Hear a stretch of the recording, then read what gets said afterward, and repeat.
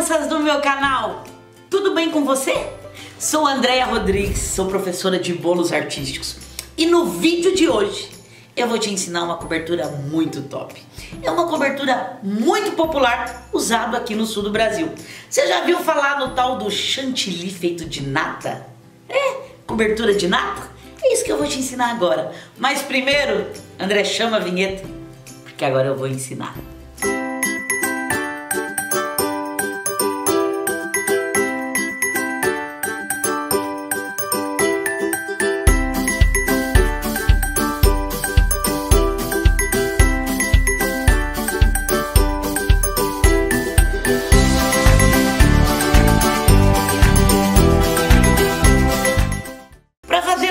Cobertura nós vamos usar apenas dois ingredientes. A nata, que nada mais é do que creme de leite com bastante gordura. Só para vocês terem uma ideia, gente, essa nata aqui, ó, em 300 gramas, ela tem 45% de gordura. É um creme de leite bem gordo. Lembre, quanto mais gordura tem, mais fácil de dar o ponto. Só que quanto mais gordura tem, mais fácil disso virar manteiga se bater demais. Então você tem que tomar este cuidado, tá? E o outro ingrediente que você vai precisar é de leite condensado gelado, ok? Gente, esse potinho aqui ele vem 300 gramas. Para cada pote bem gelado, não congelado, para cada pote de nata bem gelado, eu uso 100 gramas de leite condensado bem gelado. Eu sei que não é muito comum no Nordeste a nata, é muito comum no sul do Brasil. Eu vou te mostrar como é que a gente compra. Não é aquela nata de garrafinha, aquilo chama-se creme de leite fresco. Já fiz um vídeo ensinando todas as diferenças. A nata vem assim, olha.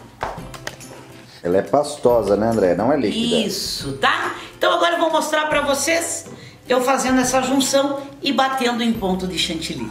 Olha uma coisa que eu gosto de fazer, principalmente você que mora em lugar quente coloque o bol da sua batedeira, a bacia na geladeira. Olhem, tá gelado.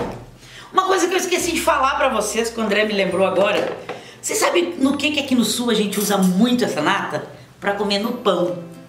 É uma delícia. No café da manhã das pessoas que moram no sul do Brasil, é muito comum ter um pote de nata para comer com o pão.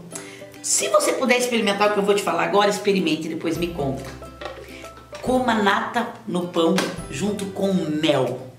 Sabe? Passa nata no pão, André. Fica gostoso, já comi. Gente, simplesmente delicioso. Testa e depois conta aqui nos comentários. Tá bom? Ó, deixa eu mostrar aqui pra vocês.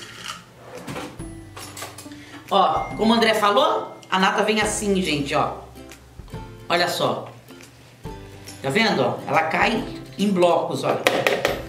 Tá bom? Agora vamos mostrar batendo, André? Vamos. Tá tudo muito bem gelado, ó. E agora eu vou misturar o leite condensado junto com a nata e já começo batendo os dois juntos em velocidade média. Tomem cuidado na hora de bater, porque ele pode virar sim manteiga. Vou parar minha batedeira para testar, ó. Ainda não tá bom. Vamos de novo. Olha como ele já não tá caindo mais, ó.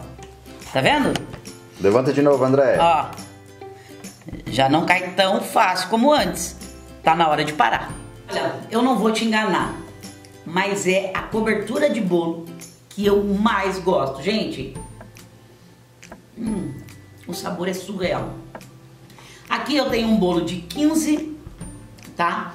Acho que ele tem mais de 10 centímetros de altura. Vamos testar para ver se um pote vai dar? Se não der, nós batemos mais. E eu vou mostrar para você.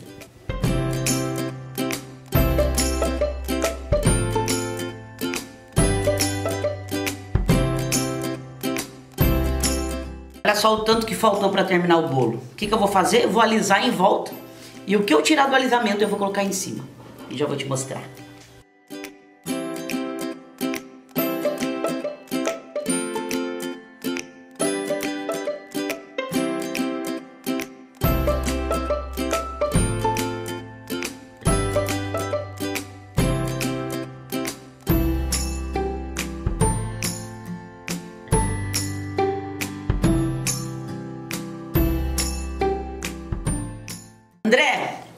Como é que ficou o nosso bolo.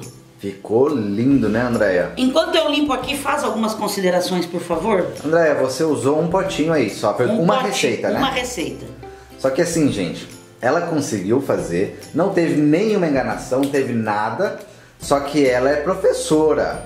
Ela trabalha há anos com bolos artísticos, então ela tem muita experiência. Se fosse eu, por exemplo, fazer pra minha casa, eu nunca conseguiria fazer com pote. Não foi fácil alisar esse bolo com um potinho só, não tem enganação, é só uma receita que tem aqui mesmo. A gente pensou em bater mais uma, eu falei, não, mas vamos até o final. E outra coisa, o meu bolo ele não tem 10 centímetros de altura. O meu bolo deve ter uns 12 centímetros. Vai mais cobertura também. Mas assim, André, para ficar legal, para um bolo de 15, Um e meio? um e meio. Um bolo de 22.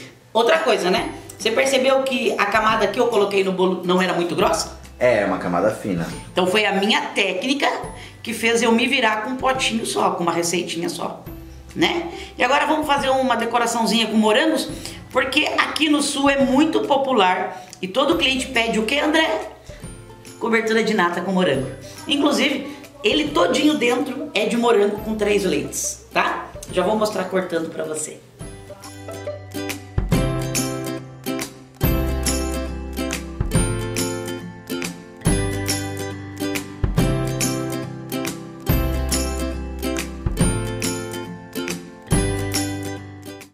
Que você nunca tenha comido esse tipo de bolo, já dá pra imaginar o quanto é delicioso, né?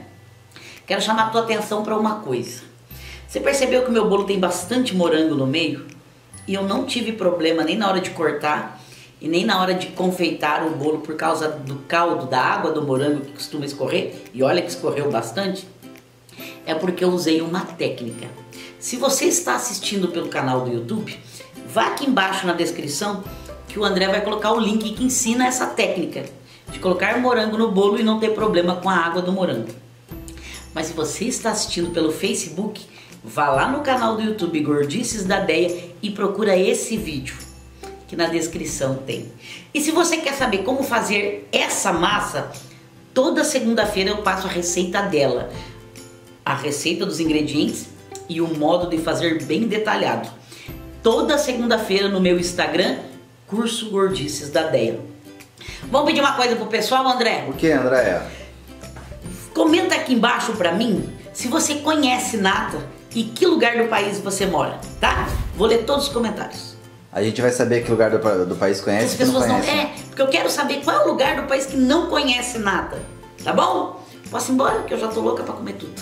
Pode, Andréia? Beijo, meus amores, espero vocês no próximo vídeo inscritos e com o sininho ativado. Beijo, até o próximo.